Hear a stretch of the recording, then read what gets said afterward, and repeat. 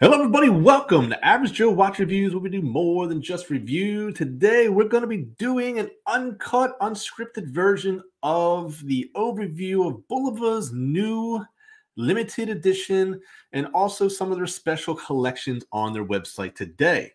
So, we're not going to waste too much time, but before we do so, can you please do me a huge favor and click that like button and show support of the new format? If you do like it, please let me know down below.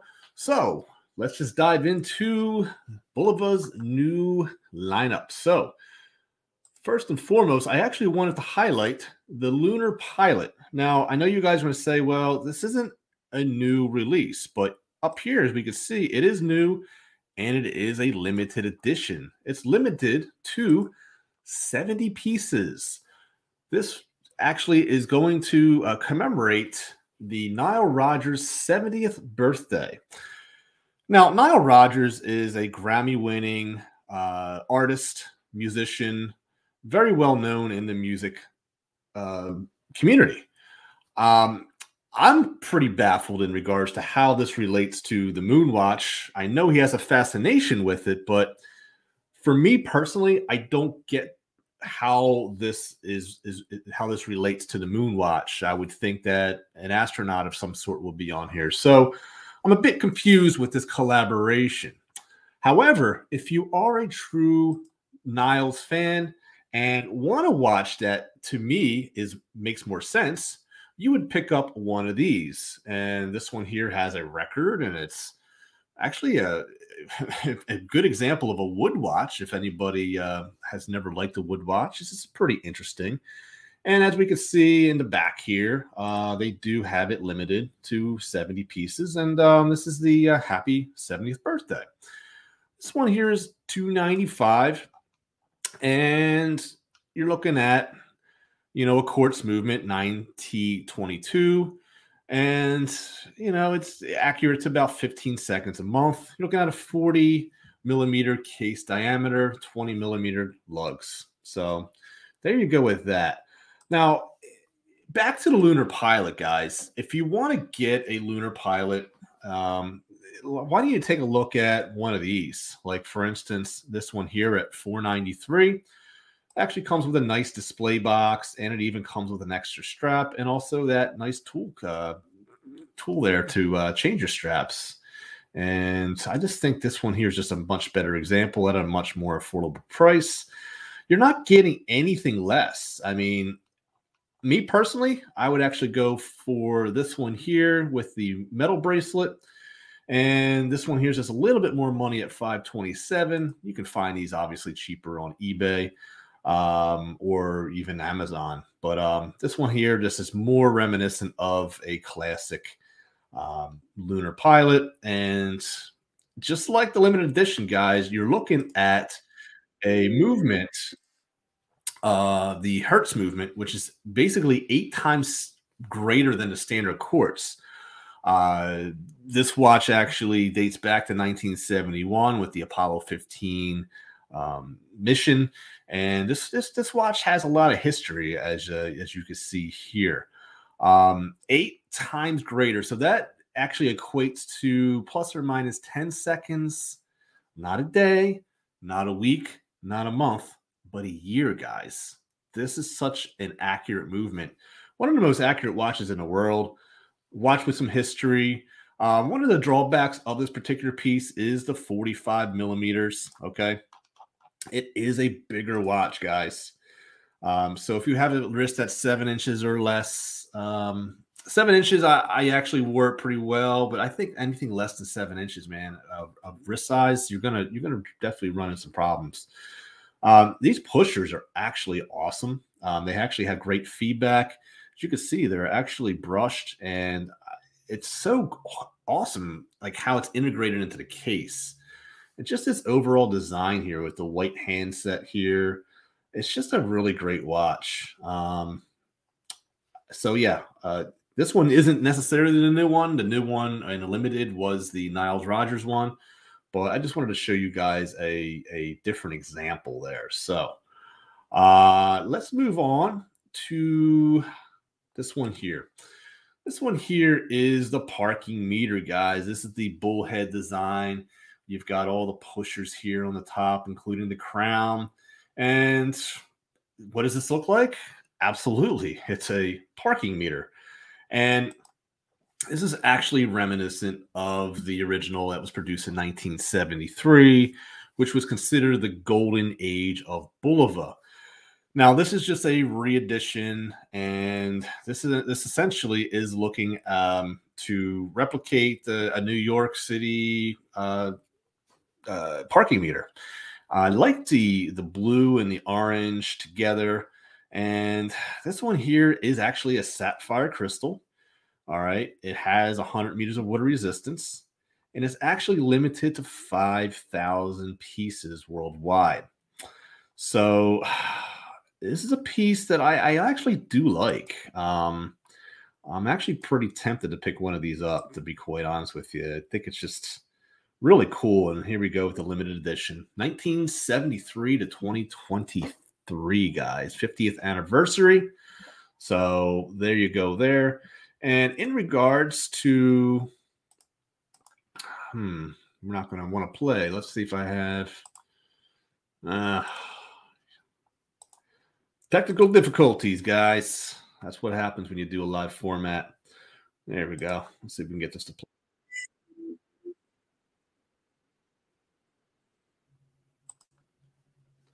This thing is really starting to get on my nerves, guys. oh my goodness gracious. There we go.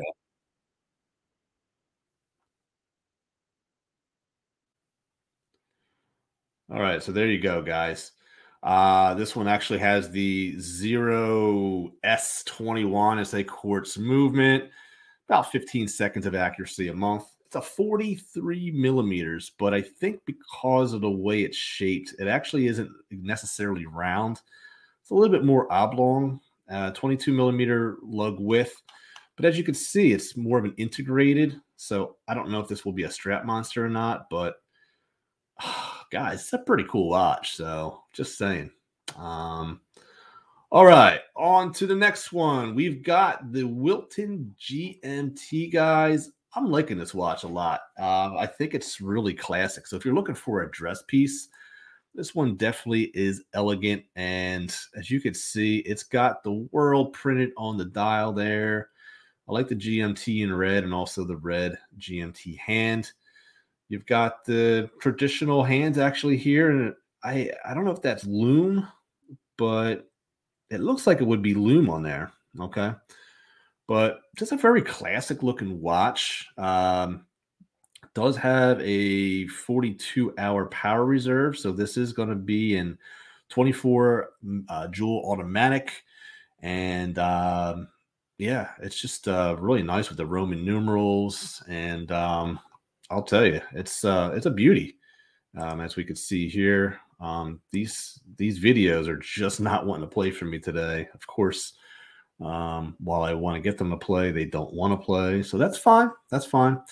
Uh, we're looking at a 90-75 movement, so this is indeed the new Miyota GMT movement that you. I actually just did a review of this particular movement um, from Jack Mason, actually. And the only other micro brand that has this movement right now is Boulder. And I'm actually in the process of getting one of those as well. So stay tuned for that. So uh, we're looking at a 43 millimeters. You know, this is my issue with Bulova is that they produce really good designs, but the watches are just too large. And this one is no different. Um, for a watch of this, especially for a dress watch, this watch should be 40 millimeters, 38 millimeters, you know, but to be 43, especially with this, it's not even a diver. So this is going to wear very large on the wrist, guys. So that's where my issue lies. All right. And then um, it also comes in a gold version, which is actually very nice as well at 608. So a little bit of a premium over 595. Just a tad, though. Just a tad. So here, um, this was just something that I found interesting. It's not necessarily new, um, but it's something that I don't see too often on YouTube. And I wanted to point it out because I mean, look at the display box. It comes in a really beautiful packaging. And look at this bracelet. It looks very nice. But again, this is a very large watch. Now, it does feature that precision movement with the 262 kilohertz. So you're going to get that accuracy. Uh, water resistance is very weak at 50 meters, guys. Um, 540, not bad, not bad. Uh, take a look at some more stats down here, and we take a look at that high performance quartz again, looking at plus or 10, plus or minus 10 seconds a year. 46 millimeter case size, guys. Again, another watch that I would have considered, except for the fact that it's 46 millimeters, guys. Man, it's just such a bummer. It really is. I mean, it's a beautiful dial, very retro. Um, man, it's just, I'm really bummed out by it. I mean, it does have good reviews. And as you can see, it's just so detailed with the red, the white, and the blue here. Very Americana. Um, it's hard to tell. Yeah, that is red. Um, just, just very, very, um, just disappointing. I have to say. Now you do get dome sapphire crystal. All right, and uh, yeah, it's just, just a bummer. Uh, let's move on. Let's move on to this one here, which is a more affordable red, white, and blue watch. 1970s retro style. This is the surfboard. Okay. And this is the that's what the style is referred as the surfboard, right? The distinctive oval shape of of the uh, subdials there. And you got your red, white, and blue. So very Pepsi look, but very vintage. Very vintage. This is the Chronograph A and um, it definitely is uh, pays homage to uh, the chronographs back in the 70s. Water resistance here is a lot more impressive at 200 meters, and you are getting a five-hand chronograph quartz movement. Dome sapphire crystal with anti-reflective coating. So that's a nice touch that you don't see a lot on Bulova as well. Looks like I got a nice little uh, buckle there too. Now, with this quartz movement, guys, you're not getting you're not getting that high precision um, that that that you once uh, that that we were getting on the other ones. So we're getting just a a typical 6S21 movement. This model was was released back in January of 2020, and uh, you know at least the case diameter here 40 and a half, so just about a 41 lug width. Definitely a strap monster. That dome sapphire crystal that you saw there, guys. Let's take a look at that right, right there. Look at that. Look at that. That's a that's a great shot, guys. I it's a good looking watch, and it's not going to break the bank. You are getting some of those higher end materials with this with the um, you know the 200 meters of water resistance to dome sapphire and the and the anti reflective coating. So um, this one's a winner for me, guys. Um, they also come with different varieties too. They also have this on a bracelet, except for the fact that this one is 29.50 and the reason why this one is so expensive besides the fact that you're getting ultra cool packaging is the fact that this one is actually going to be powered by the SW510. This is going to be a Swiss made movement and you're also getting a 38 and a half uh, millimeter in size. Now, I actually wanted to go back because they actually have one in gold as well. Um, that would actually load up here. There we go. So they got a gold version here for 510. Um, man, that's a lot of money for just gold. Is there different movement in there? That's the same old quartz. Um, but you're getting this in this one in gold. Um, pretty big premium for having this in gold, to be quite honest with you. Um, a little bit shocked by that one. And then they have a black version as well um, at 354. So this one would be more of like the like a Coke. So pretty cool there. And then lastly, as I actually I was supposed to say it in the beginning. So uh, lastly, I actually wanted to talk about Bulova's most expensive watch in their collection, and that is the twenty thousand dollar Accutron. Yes, the 2020 Space View. This one here $19,600, limited to 60 pieces, 18 karat gold, guys. Really, really cool. Um, I, as you guys know, I do own an Accutron from the uh, the original era with the bow tie lugs, and uh, this one is going to pay homage, and it actually has that electrostatic uh, technology, whereas the one I own was the first electric, true electric, all electric watch. So very, very cool, guys. Um, just some other ones that I really, really liked. Um, oh, you know what? I do like their curve collection, guys. I know. Um, let me see here. I know again, this is not one of their newer watches, but they do have some newer designs that I wanted to share with you here. So check these guys out. Um, this is the watch that essentially has the first curved movement. So it's not just the the case itself, but the movement actually has a little bit of a curve too. And these watches fit on the wrist very, very comfortably. Um, I've actually tried one of these on. Bit pricey for what they are, you know, kind of a gimmicky kind of watch, but um, definitely really cool nonetheless.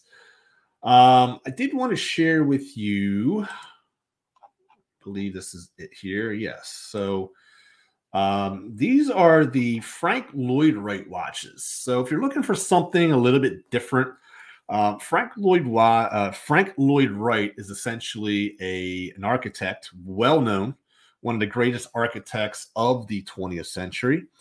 And you know, this these watches are inspired by some of his architectural designs, and a lot of them are like based off the stained glass that he had as well um, that he's created, such as this one here. Um, you can see some of that stained glass pattern. And, you know, like these watches, they don't break the bank. Um, if you like tank style, this one here, really cool looking watch at 268. Um, again, some of that stained glass that he's done. Um, getting very basic stuff though, the basic quartz movement. Um, you know, nothing, nothing fantastic, but uh, reliable, obviously. But um, yeah, I just thought that this collection was definitely worthy of at least showing you guys. This is another cool one here. Uh, December gifts. And hey, if you're looking for a day date complication here, uh, again, quartz, you've got this one here. And I like the way they implemented that. It actually blends in with the dial. So, and I, that counterbalance is pretty cool there. Um, looks like the symbol of the Frank Lloyd Wright Foundation. So, pretty cool. And um, I want to end the video on one more collection that I did hit on um, a few years back, but I feel as though it's worth uh, showing you guys. And that's one of the special collections from actually, um, actually, I'm going to skip that one. Um, actually, if you want to see the uh, Frank Sinatra collection, I do have a video on that, so I'm not going to do that. I actually want to jump over to this one here, which is the Joseph Bulova collection the uh, Frank Sinatra worth uh, showing you guys, and that's one of the special collections from actually. Um, actually, I'm going to skip that one. Um, actually, if you want to see the uh, Frank Sinatra collection, I do have a video on that, so I'm not going to do that. I actually want to jump over to this one here, which is the Joseph Bulova collection. Now, these aren't cheap watches; they're all limited, from what I understand. You got an automatic here um, the chronograph, but you got a lot of these here that are based off of the like the early 30s watches. Some of them called the bankers watches. This one here, very interesting. Um, and even the the case backs. Look at this, beautiful watches, guys. Um, I'm liking them. Uh, actually, you're getting a Swiss SW200 movement, so that's that's impressive in and of itself. Uh, but yeah, I mean, here's here's the collection here. I mean, beautiful watches here. Um, just take a look at these guys. Um, I've actually been tempted to pull the trigger on on one of these on eBay, but um, I'll tell you, it's just um, I don't I don't wear dress watches a lot, and I wish I did because if I did, I think this would definitely be added to my collection. I mean, look at that! Look at those two beautiful watches, guys. So I hope you guys enjoyed this format. Um, definitely something different for you. And um, that's all I have for you today. So always remember there's always time to be kind to one another. Please take care of each other. And I'll see you guys next time on Average Joe Watch Reviews. God bless, my friends. Hey, it's Ryan Reynolds. I know